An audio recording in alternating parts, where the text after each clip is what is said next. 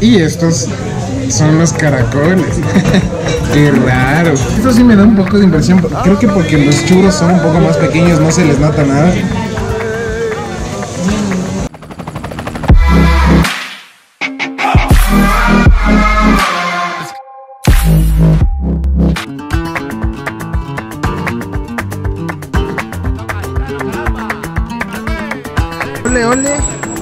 Y ole. ¿Qué más muchachos? ¿Cómo están? ¿Champions? Mes a mí, parces, cuates. Si ustedes han estado pendientes de mi Instagram, Damián Bernal F, se deben dar cuenta que seguimos en Madrid, España.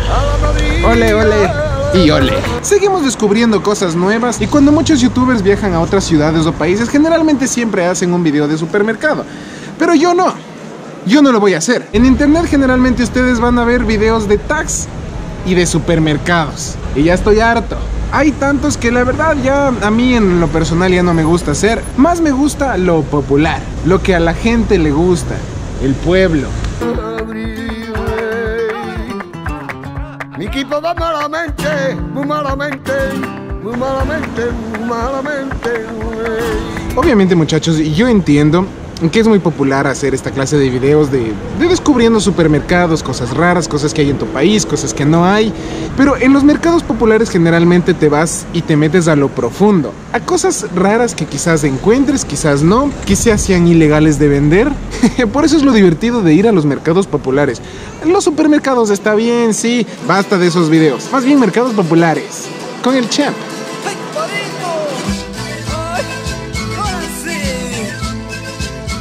Por esa razón, mis buenos champions, como nos gustan los mercados populares, nos gusta el pueblo, de lo profundo de cada país, el día de hoy vamos a visitar dos mercados que investigué, que la verdad me dijeron que no eran como mercados populares, pero para mí sí son mercados populares. Quizás la definición aquí en España sea totalmente diferente al mercado popular, pero bueno, yo solamente soy un latino descubriendo qué cosas podemos encontrar. Al primero que vamos a ir se llama El Rastro.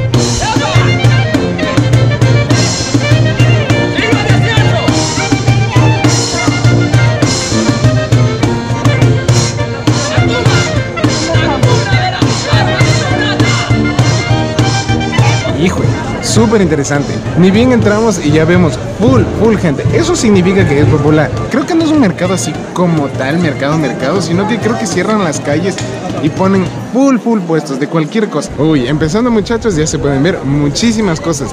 Generalmente, por ahora lo que he visto es ropa. Ropa por acá, ropa por acá, ropa por acá y está guapa. Más ropa por acá, ropa estampada por acá. Uy, esto sí está bacano.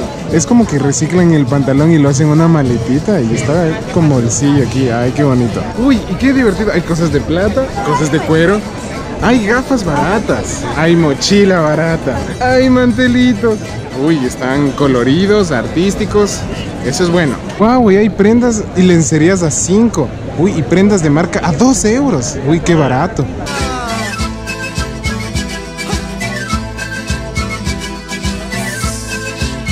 Unos buenos chores. Más chores. Ah, bueno, creo que es de la sección de chores.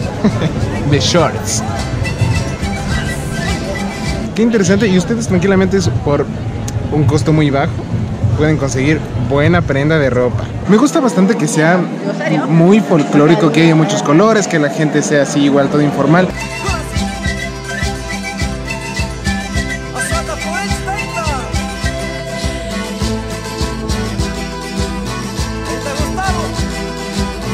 Ve, y ha sido todo a 10 euros. Algo que he visto mucho acá son los abanicos. Creo que por el calor, también por lo tradicional, se utiliza mucho esto. Uno por tres, muchachos.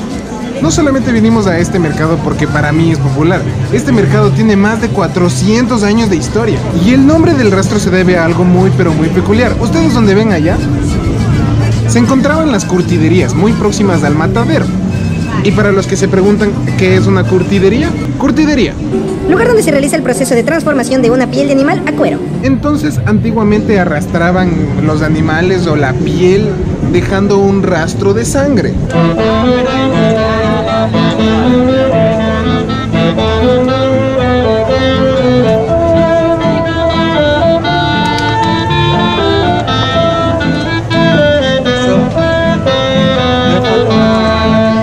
Hoteles para la playa. Uy, y camisetas así pintadas a lo loco.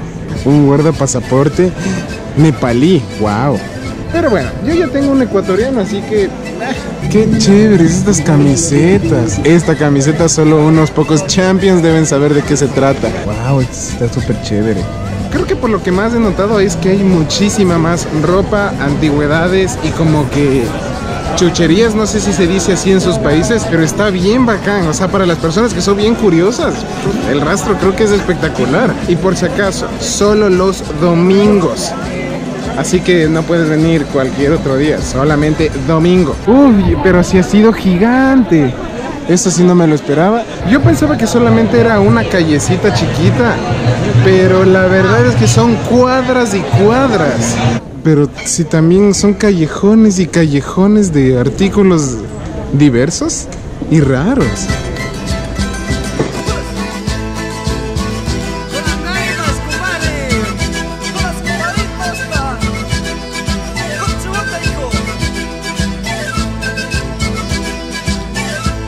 Uy, aquí está otra plaza. Uy, y con más ropa. Ropa. Uy, libros. Más libros, qué bacán. Y por suerte es que hay artistas en todo lado. Y eso le da el toque folclórico a la vida y al asunto. Increíble. Estos muchachos de acá solamente necesitan una palabra y te escriben la poesía o el poema.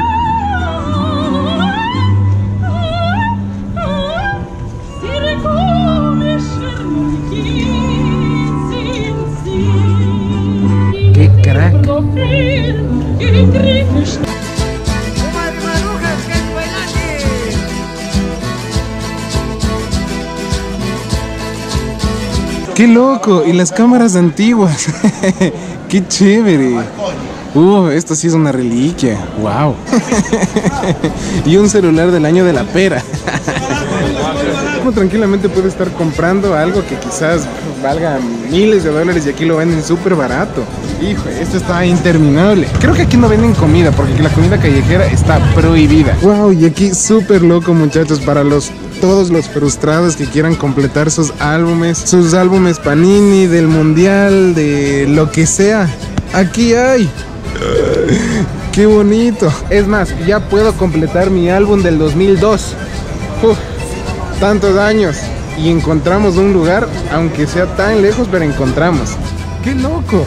Y hasta hay esas barritas de calistenia. Es más, vamos a intentar a ver si podemos... eh, una.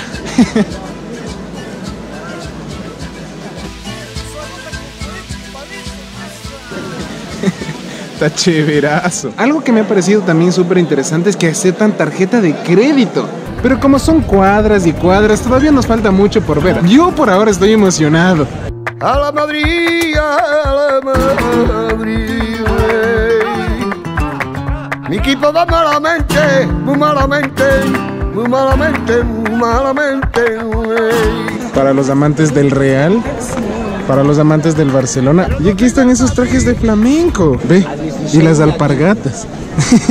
bueno, en realidad aquí son las menorquinas. Esto sí creo que podemos decir que es tradicional, tradicional. Pero este corcho, ay, qué chévere. ¿Y será que huele a corcho?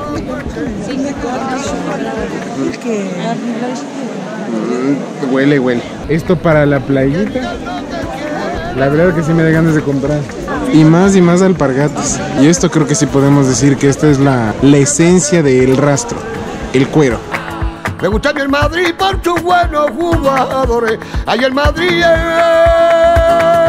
Mochilas de cuero, canguros de cuero, más cuero y correa de cuero. Y yo me pregunto de nuevo, ¿olerá a cuero?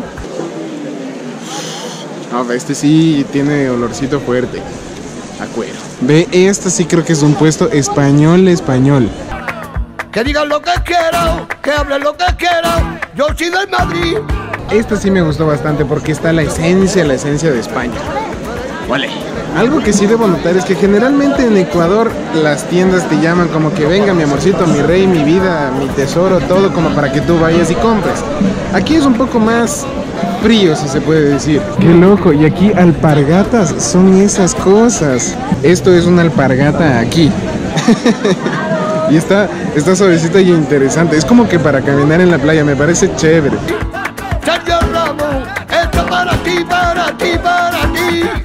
A la Madrid, a Madrid, a la Madrid. A Madrid, a Madrid, a la Madrid. Otra cosa muy importante, la música. Me gusta tanto el ambiente que eso sí, como en cualquier parte del mundo, es bueno escuchar su música tradicional, en este caso flamenco.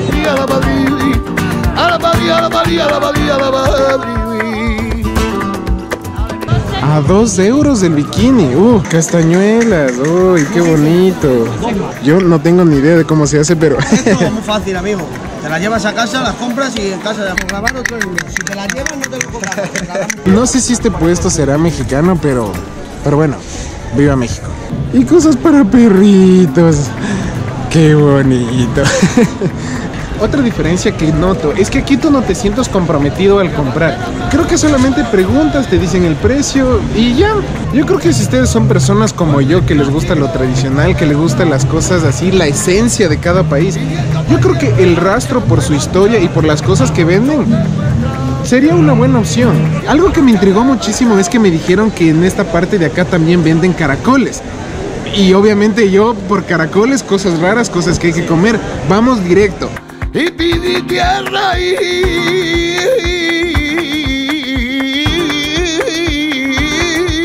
Y estos son los caracoles. Qué raro. Esto sí me da un poco de impresión. Creo que porque los churros son un poco más pequeños no se les nota nada. Me dijeron que solamente le pinche y de una. Esto sí es como comer a Gary. Ay, esto sí me causa un poco de impresión, pero. Mm, le siento como la, como la guatita. Y sí está sazonado. Uf, este sí está profesional. Creo que a diferencia de los churros, o sea, estos sí vienen sazonados. Ay, está caliente. Sacarlo es todo una ciencilla. Viéndole desde este punto, obviamente no, no se ve un poco apetitoso.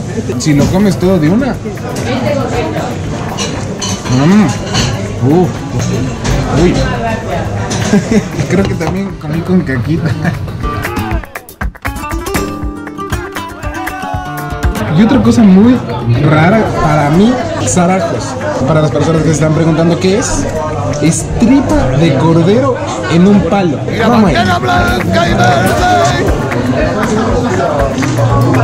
Uh, sabe como al, como al cuerito del pollo quemado. Y hasta te ponen con limoncito. de la Comic Con de, de 2017. Nosotros nos aventamos a todo. Y bueno, le comenté que voy a todas las.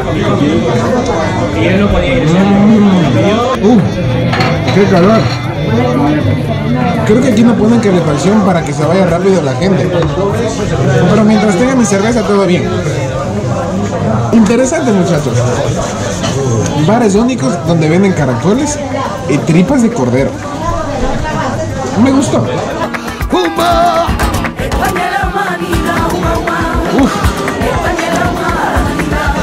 Subamos.